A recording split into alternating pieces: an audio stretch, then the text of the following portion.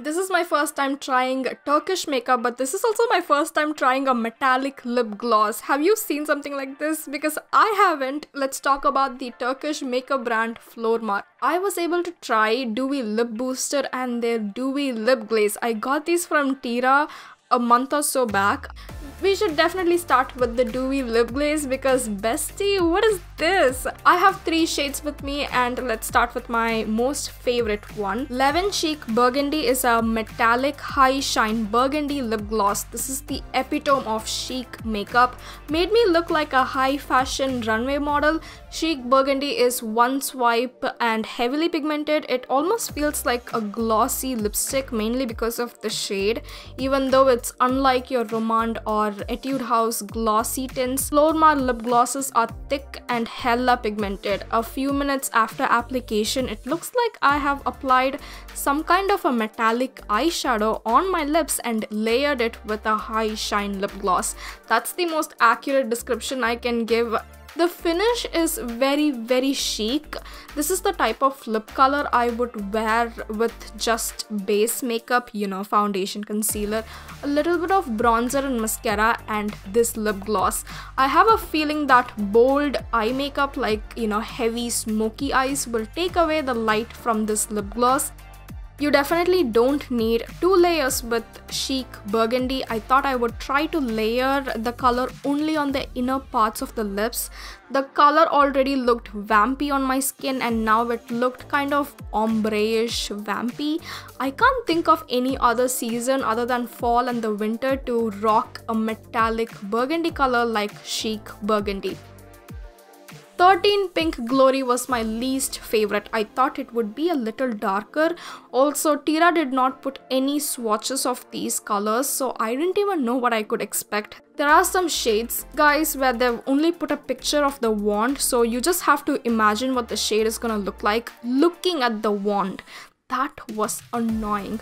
Pink Glory is a light baby pink nude color. Pink Glory looks very pale on my skin tone. Out of all the three shades, the pigment in Pink Glory separates faster. Do you see that? Also, Pink Glory settled on my fine lines.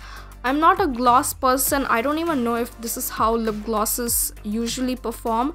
Whatever this is, I don't like it and also this only happened on my bare lips. The Dewy Lip Glaze formula seems to work better on top of lip liners and lipsticks so I don't care that much if the pigment separates because I'm never gonna wear it on bare skin.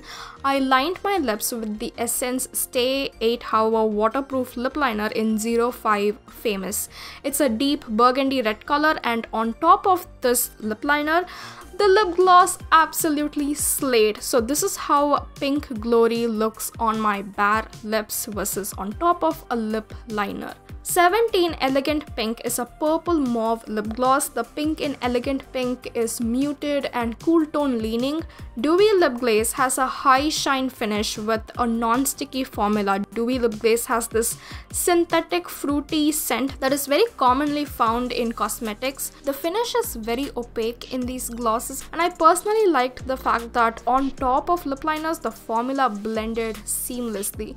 You know with some lip gloss formula it is very apparent that you have applied some kind of a lip liner or some product underneath the lip gloss. Maybe I'm reading too much into it, but I genuinely liked how the formula fused with my lip liner. I'm talking about the ombre two-tone finish. So yeah, this is how 17 Elegant Pink looks on my bare lips versus on top of the Essence lip liner. Overall, I give Dewy Lip Glaze 8 out of 10. Flormar Dewy Lip Booster does everything Dewy Lip Glaze already does, but with that extra action of a lip plumper. Basically, this is like your high shine glossy lip plumper. The consistency and texture are pretty much the same, but I found Dewy Lip Booster to be more shiny and glass-like. The first shade I have is 05 Vintage. This is your your typical mauvey pink shade. The pink here is not as cool toned as Elegant Pink. I liked this shade a lot as a lip plumper. This does the job. I just have to wait for one minute and no more than that to see the plumping effect. Did it sting? It's not like your Too Faced lip injection where the gloss stings your lips like a bee sting, like an ant sting. This is more like, you know, cooling and minty, but it's definitely intense. I have sensitive lips, and I don't know if it's because of that. This minty cooling sensation was there on my lips for 10 to 15 minutes after application. So I don't know how many people are gonna like the lip plumpers like Dewy Lip Booster. The only thing I hate about Dewy Lip Booster is that this had like a polo minty oily smell. It smells like peppermint oil I don't know how to feel about it. Even though I'm not a huge fan of lip plumpers, I have to agree that Dewy Lip Booster is better than Dewy Lip Glaze. It has everything Dewy Lip Glaze has, but I don't know why this has more shine and pigment than Dewy Lip Glaze. For people like me who just want a regular schmegular lip gloss, then you can definitely try the Dewy Lip Glaze. Lip Booster is for my feisty besties, you don't mind the minty plumping sensation, then go for it. The last shade is such an unfortunate pick. I'm so mad at myself for picking this color. This is 04 Ruby. I don't like this color at all.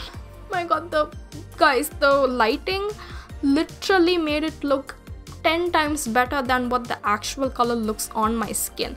If you have deeper skin tone, you will understand what I'm going through. This red color just called me an ugly dark bitch in 10 different languages.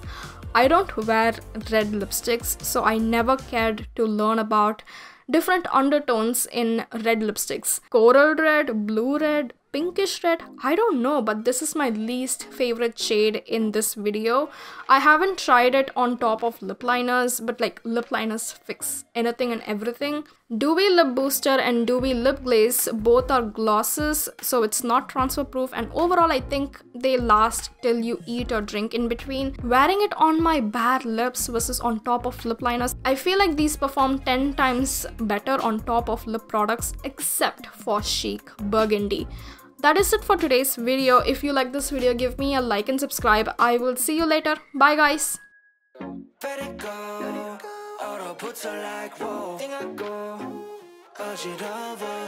I see, I see.